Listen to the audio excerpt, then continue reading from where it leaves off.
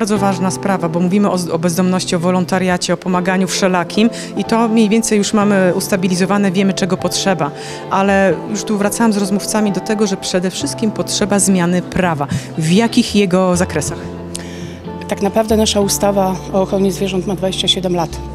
W tamtych czasach to była innowacyjna, e, e, innowacyjne regula, uregulowanie prawa, natomiast dzisiaj wiadomo, że e, wszystko się zmieniło e, i potrzebujemy tak naprawdę zupełnie nowego spojrzenia na opiekę nad zwierzętami. W tej chwili myślę, że to jest czas na zmiany.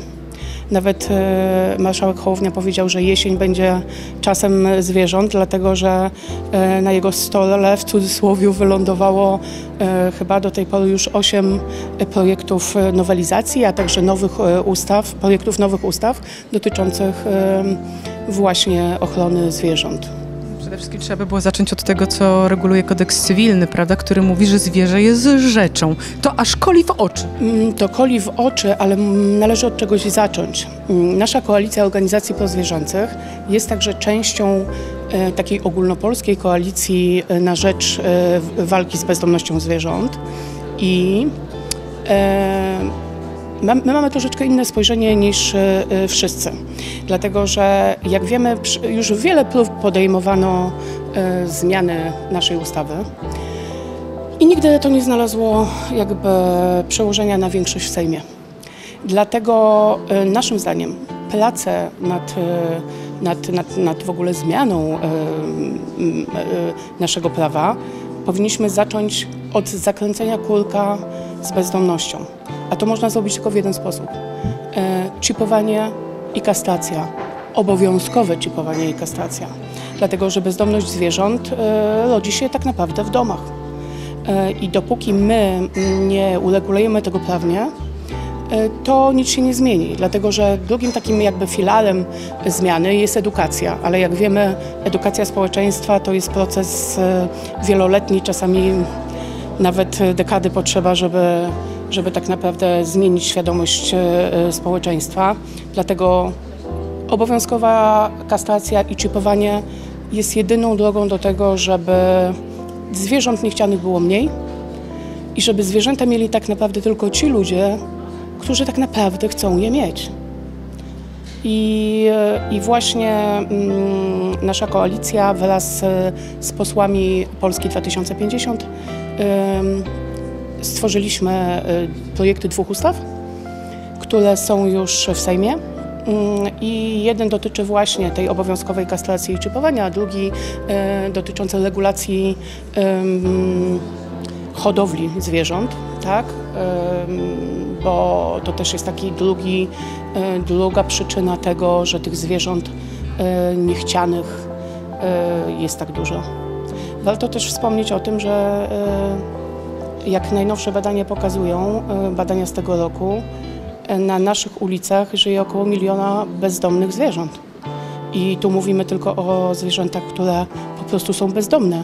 Nie wliczając w to te wszystkie tysiące e, zwierząt, które są w schroniskach, w domach tymczasowych czy w azylach.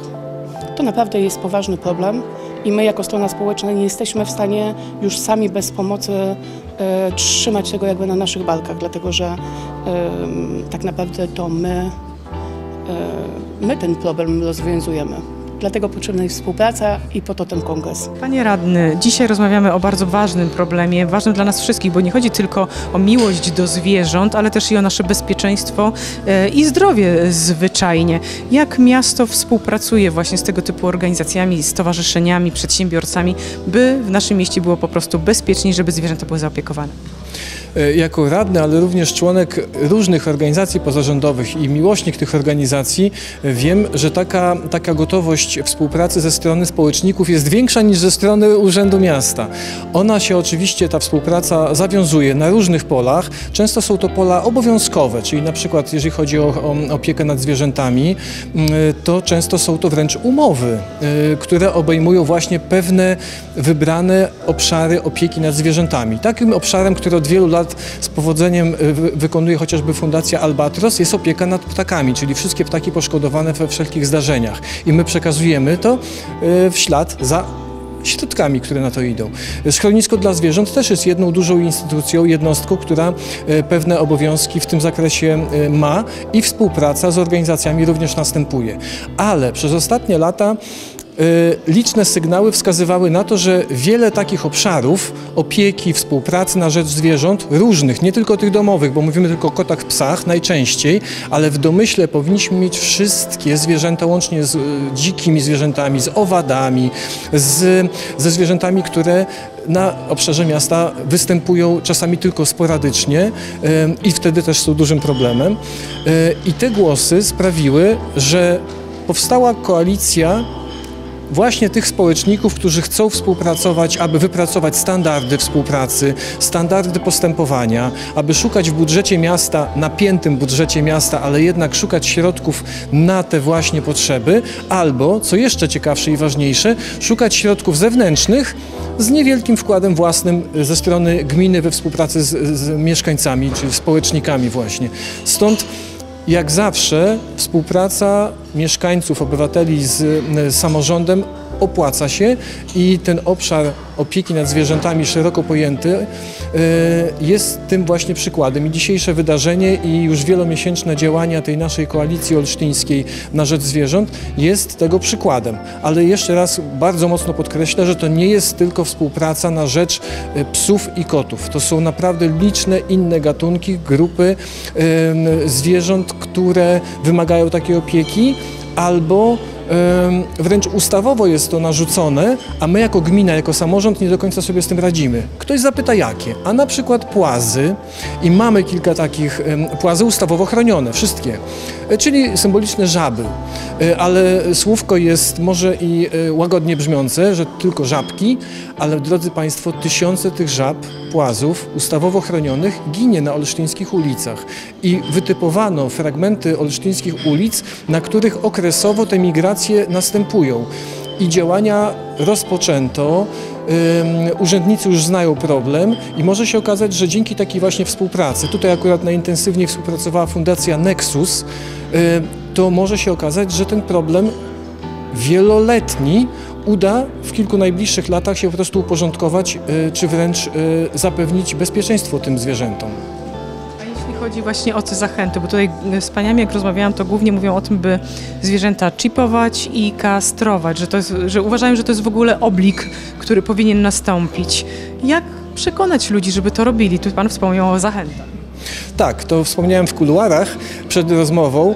Oczywiście o, o, za chwilę chętnie o tym powiem, ale po raz kolejny podkreślę, że wszyscy dzisiaj skupiają się na e, zwierzętach domowych, psach i kotach, natomiast problem jest dużo większy. Ale wracając do tego e, zagadnienia, o które Pani pyta, to zachęty to na przykład zachęty w postaci bezpłatnych albo naprawdę symbolicznie płatnych zabiegów, bo każdy właściciel takiego pieska, kotka e, wie, że to jest kilkaset złotych e, w wyspecjalizowanym gabinecie. Oczywiście można skorzystać z usług schroniska, ale nie wszyscy, wiele osób obawia się e, odwiedzać schronisko, ponieważ jest to specyficzne miejsce. Nawet jeżeli tu jest gabinet weterynaryjny, to jednak bardzo w ramach specyficznego miejsca, gdzie nie każdy chce swoje zwierzę przywozić ze względów różnych.